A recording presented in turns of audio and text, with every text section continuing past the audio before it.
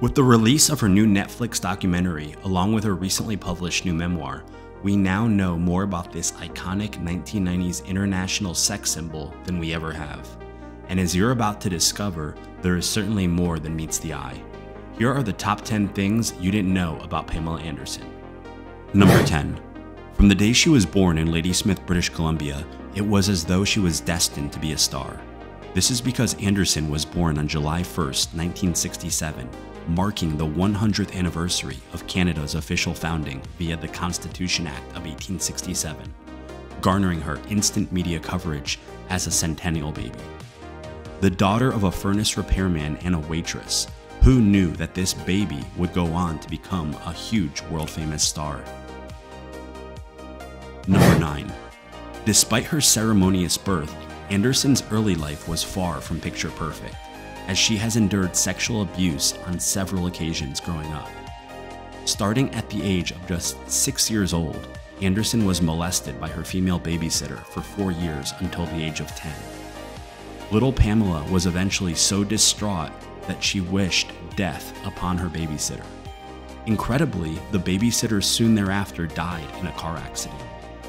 Two years later, at the age of 12, Anderson was raped by a 25 year old.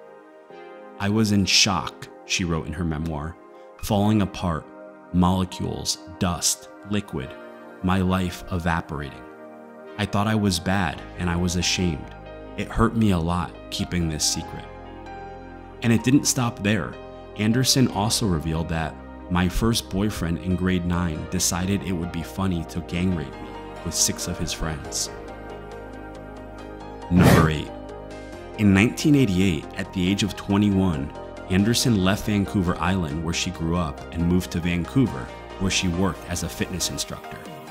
The next year, her life suddenly changed when she attended a BC Lions Canadian Football League game. As fate would have it, Anderson was featured on the Jumbotron while wearing a Labatt beer t shirt.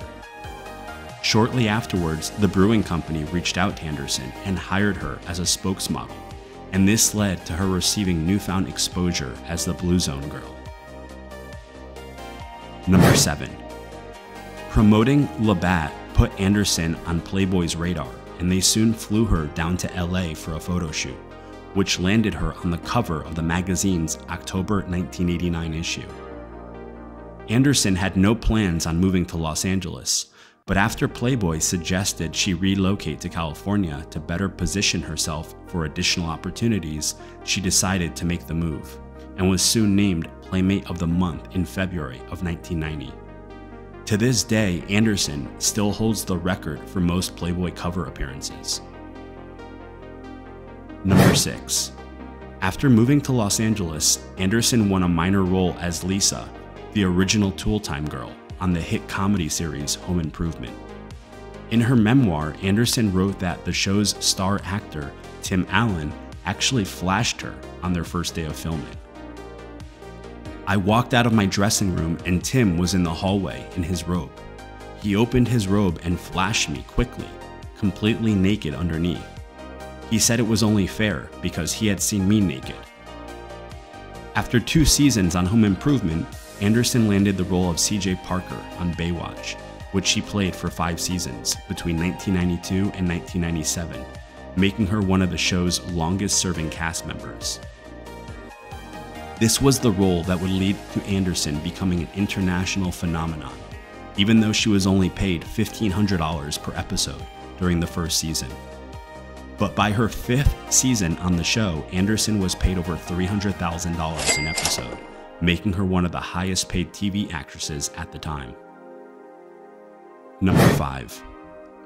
Pamela Anderson had met Tommy Lee briefly on New Year's Eve in 1994, but she still hardly knew him two months later when she said I do and agreed to marry him. After their initial meeting, Lee persistently called Anderson and ultimately tracked her all the way to Cancun, Mexico, where she had traveled for a photo shoot. Anderson was put off by his persistence and refused to disclose where she was staying. But after he said that he would go to every hotel in the area until he found her, she finally agreed to meet him. That night, during ecstasy laced drunkenness, they hit it off. and three days into the trip, Anderson agreed to marry Lee, and they tied the knot the next day during a beachside ceremony on February 19, 1995. Number 4. You undoubtedly know about the infamous sex tape that took the world by storm. But what you may not know is that even though this tape went on to generate over $77 million in just one year, Anderson and Lee never earned a penny from it. This tape was not a publicity stunt and was in fact stolen by a disgruntled former employee from a safe at Anderson and Lee's home. They filed a lawsuit against the company distributing the tape, but ultimately dropped it because the legal process was causing Anderson an overwhelming amount of anxiety and since she was pregnant, she feared for the health of her unborn child. Number 3. The stolen sex tape was far from the only problem in Anderson's marriage, and her husband's jealousy soon proved to be a major point of contention. Tommy Lee was almost always present when Anderson was filming, and her romantic Baywatch scenes with other men sent him into wild fits of rage. One evening, Confused, sad, tired, not in my right mind, Anderson climbed into the bathtub and washed down a bottle of Advil with vodka before vomiting.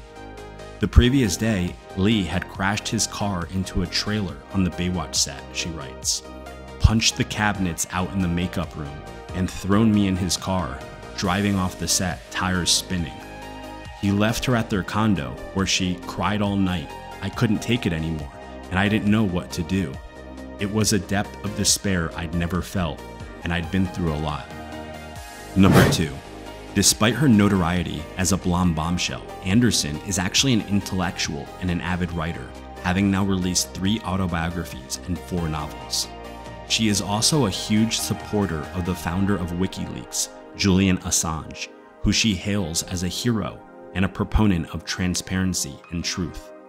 Anderson has visited Assange at Ecuador's London embassy on multiple occasions, and even visited him when he was transferred to Belmarsh, which is a super maximum security prison. Number 1. Pamela Anderson, who has been married six times, has now come to the conclusion that Tommy Lee was her one true love. In fact, Anderson allegedly texted her ex husband before her Netflix documentary aired in an attempt to clear the air and make him aware of her true feelings. She apparently told him that the paparazzi were to blame for the end of the relationship. Meanwhile, a source close to Lee claims that he and his wife, Brittany Furlan, believe Anderson is trying to get back with him, even though she's been presenting herself as respectful of his current marriage. Anderson has apparently been repeatedly texting Lee ever since he proposed to Furlan, with flirty messages saying she still loves him and she thinks they'll end up together when they're old. For Lee's part, he apparently doesn't reply to the texts. Allegedly, Anderson's most recent text to Lee stated that she was heartbroken over their divorce and apologized for hurting him, reading, I only have good things to say about you. Especially in hindsight, I realize I only had one true love. It's a true love story. Now, even though Baywatch was a huge hit, Anderson's first feature film, Barbed Wire, was a flop. But that is not the case for the movie stars featured in this video right here, the top 10 richest actors in the world. Click the image right now and you can watch it completely free.